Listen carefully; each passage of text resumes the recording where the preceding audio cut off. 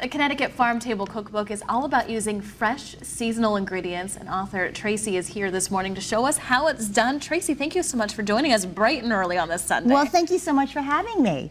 So you can make this, it's macaroon is between a cookie and a cake. Yeah, it's funny because when I was writing the intro for it, I said, I don't even know if I should write cookie. I don't know what a macaroon is yeah. even classified as. Yes, it's, it's a cross between. Good, exactly. So Good. what we're going to start off with with some shredded coconut, and you're going to see how quickly you can make this in a matter of minutes. So this cookie is great if you have to bring a dessert to a party or you want to make a quick dessert for your family. This is ideal. Do they freeze well?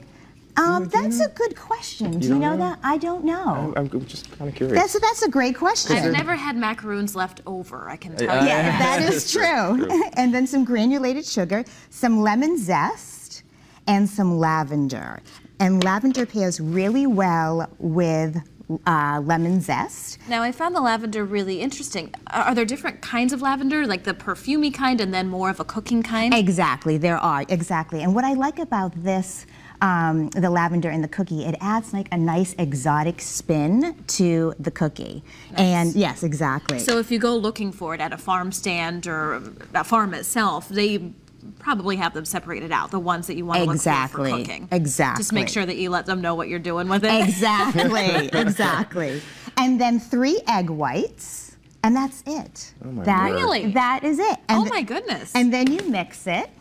So and no flour or anything. No, so this is a gluten-free cookie oh as well. Word. I don't think I ever even realized it was gluten-free because it holds together so well. You don't realize that there's no flour in Exactly. Well, it's the egg white. The egg white um, adds a nice um, center that's soft mm -hmm. and also a light texture. So it's all about the egg white. I guess that's what I like about them is that you get that chewy, soft kind of quality. Yeah, exactly. That's, that's Without really... them being really dense. Yeah, exactly. Yeah, exactly. Well, Tracey, while you're mixing, why don't you tell us a little bit about the cookbook? Sure. The um, cookbook covers the whole state of Connecticut. And there's 150 recipes, and there's something for everyone. 150 for recipes? 150 recipes. There's something for seafood lovers, for vegetarians, for meat lovers. And then what we're going to use mm -hmm. right here is a uh, cookie scoop, but you could also use two spoons if you want. These are helpful. They are very helpful. you don't have to really scrape when you have that going. Exactly. Nice. And then we're just going to take the um, scoop, scoop it out like this, and you're going to uh, heat your oven to uh, 325 degrees, mm -hmm. and then you're going to bake these for 10 minutes, and then rotate the cookie sheet and bake for an additional about, I'd say 15 minutes. It just depends on how large you scoop.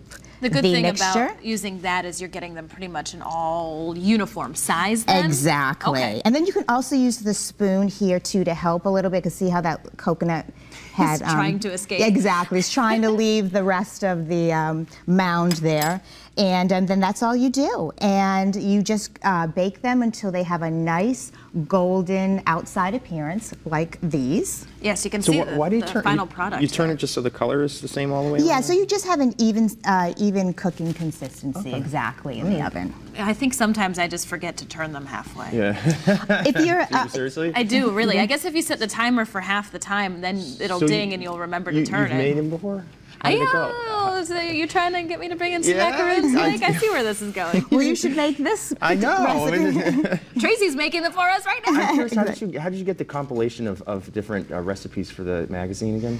Uh, well, I um, just called up farmers, chefs, and food producers throughout the whole state of Connecticut that practice the farm to table movement. Okay. And um, I just told them what we were doing. Mm -hmm. And I have a co-author. Her name is Christy, who's wonderful.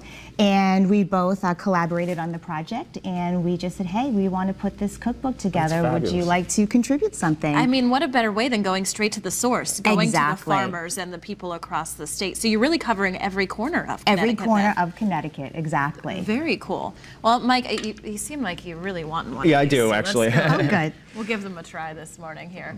See, they're, they're nice and chewy in the middle. Yeah, exactly. Oh my goodness. These are fantastic looking. Oh, they're really good. Mm-hmm. The lemon zest is really you can. Isn't it nice? Yeah. Mm -hmm. And it pairs so nicely with the lavender. Mm -hmm. It's just a mm-hmm. nice pairing. They don't overpower each other at all. No. Wow. This mm. is. I mean, this is good for summer too because it's not. You know, it's.